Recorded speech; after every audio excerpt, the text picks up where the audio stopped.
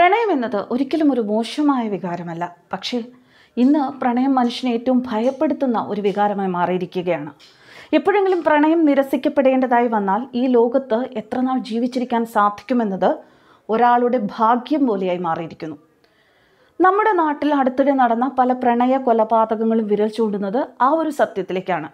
കാരക്കോണത്ത് വിദ്യാർത്ഥിനിയെ കഴുത്തറുത്ത് കൊന്നതും കൊച്ചി കാക്കനാട്ട് വിദ്യാർത്ഥിയെ കുത്തി പരിക്കേൽപ്പിച്ചതുമെല്ലാം ഇപ്പോൾ കോതമംഗലത്ത് ഡെന്റൽ കോളേജിലെ house surgeon doctor P V മാനസെ വെടിവെച്ച് കൊലപ്പെടുത്തിയതും ഇതെല്ലാം സൂചിപ്പിക്കുന്നതും ഈ ഒരൊറ്റ കാര്യം തന്നെയാണ്.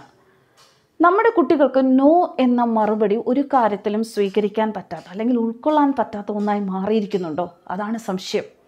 സ്വന്തം പ്രതീക്ഷയിൽ നിന്നും കാര്യങ്ങൾ മാറുമ്പോൾ കൂടെ ഉള്ളവരെ അപായപ്പെടുത്താൻ ശ്രമിക്കുന്നത് ഒരിക്കലും ആരോഗ്യകരമായ ഒരു ചിന്തയല്ല.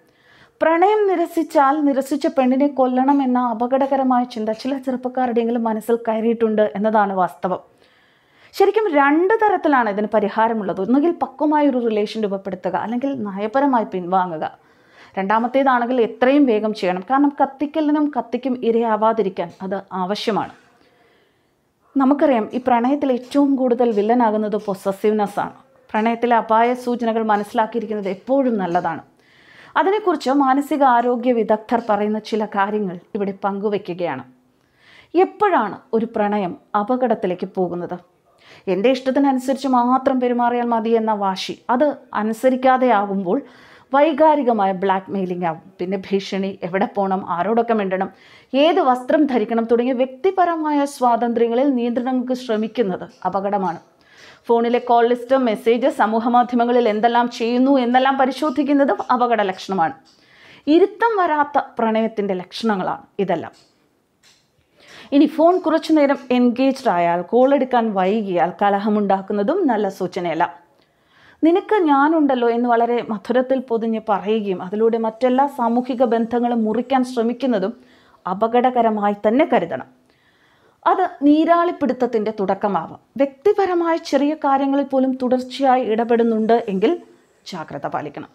നേരവും കാലവും നോക്കാതെ ഫോൺ വിളിക്കുക മെസ്സേജ് അയക്കുക താമസിക്കുന്നതിന് തൊട്ടടുത്ത ആ സമയത്ത് വന്ന് നിൽക്കുക പുറത്തേക്ക് വരാൻ ആവശ്യപ്പെടുക ഇതെല്ലാം പ്രശ്നങ്ങളുടെ മുന്നോടിയായി തന്നെ കാണണം. ഇപ്പോൾ തിരക്കിലാണ്.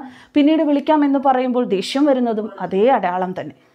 നീ പോയാൽ ഞാൻ ചത്തുകളയും എന്നെ കൈവിട്ടാൽ നിന്നെ കൊല്ലും എന്നൊക്കെയുള്ള പറച്ചിലുകളുണ്ടല്ലോ. അത് ഒരുതരം ഗുരുതര അവസ്ഥയിലേക്കുള്ള പോക്കാണ്.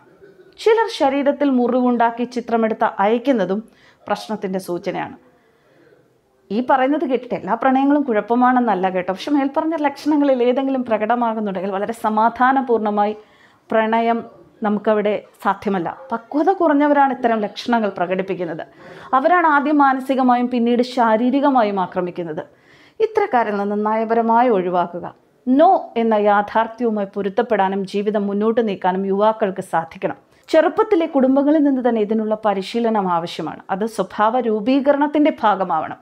അങ്ങനെയുള്ളവർ പ്രണയിക്കുമ്പോൾ പങ്കാളിക്കുമേൽ ഉടമസ്ഥ അവകാശം സ്ഥാപിക്കാൻ ശ്രമിക്കില്ല. അവകാശങ്ങളും സ്വാതന്ത്ര്യവും ഹനിക്കാൻ മുതിരുകയുമില്ല. പ്രണയപങ്കാളിയെ കത്തിക്കുകയും ആസിഡ് ഒഴിക്കുകയും കഴുത്തറുത്ത് കൊല്ലുകയും ചെയ്യുന്നത് ആത്മാർത്ഥവും പക്വവുമായ പ്രണയത്തിന്റെ ലക്ഷണമല്ല. അത് ഇരുത്തമില്ലാത്തവരുടെ വെകിളികൾ മാത്രമാണെന്ന് ഓർക്കുക. News desk കർമാനസ്